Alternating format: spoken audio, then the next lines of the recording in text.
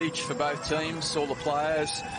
And it almost provides this compounding effect, you know, that we know as passion that just takes performances to another level. So both sides loaded with skill, loaded with speed, uh, but you just know that the, the energy and effort will go to the next level in this contest, Matty.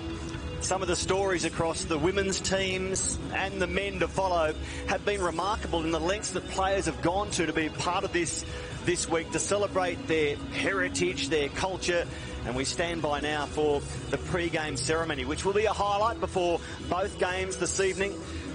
The Indigenous women to lead us off with a cultural or unity dance designed to show pride of culture and strength in women. And this team, well, they're standing by for a Maori war cry, a special female haka written by Hammond Matua, who just happens to be the brother of the Maori Ferns coach Rusty Matua. A real family theme through the Maori Ferns, and we'll get through that as the game continues. But the scene is set at AAMI Park in Melbourne.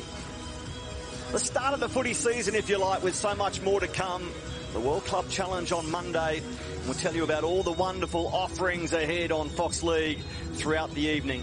What a night for Rebecca Young, the captain of the Indigenous team, 37 years young. And she's back on the big stage after missing a start in the NRL Women's Premiership. So, onto the field for the pre-game ceremony.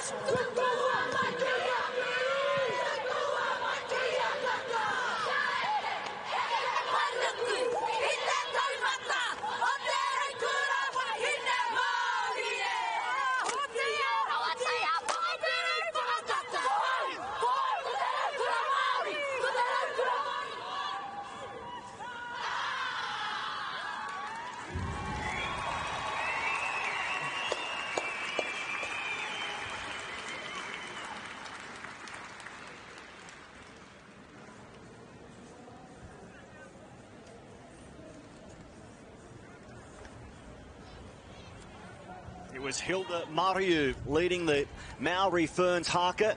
And now they stand and wait for the Indigenous All-Stars to perform their cultural or unity dance.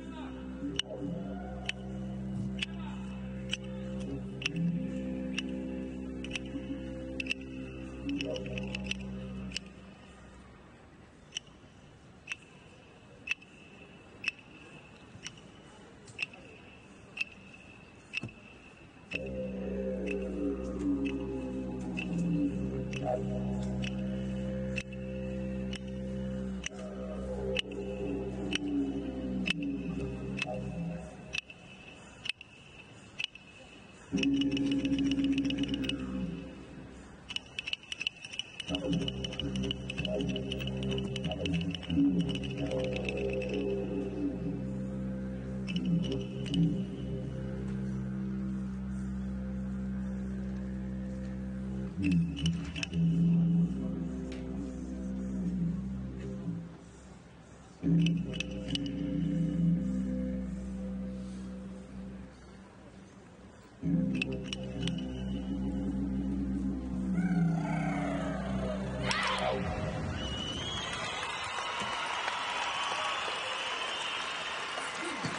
Well done, girls, and fantastic to see Preston Campbell on the didgeridoo.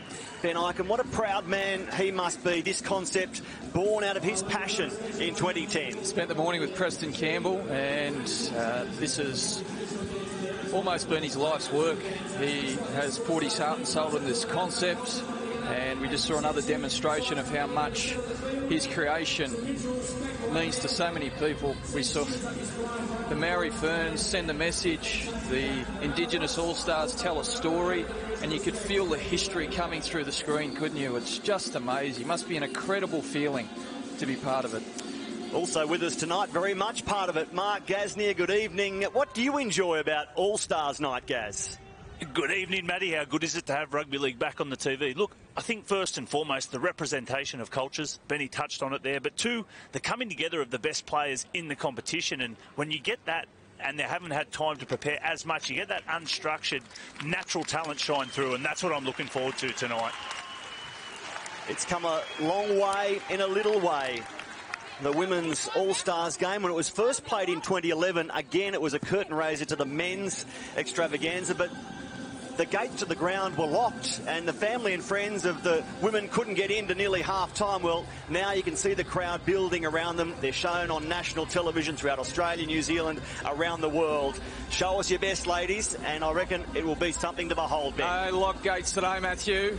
We're in for a treat, I think. Dripping with talent both sides, and that's what we have arrived at that point. It's all about the footy now. We've had the celebration of history.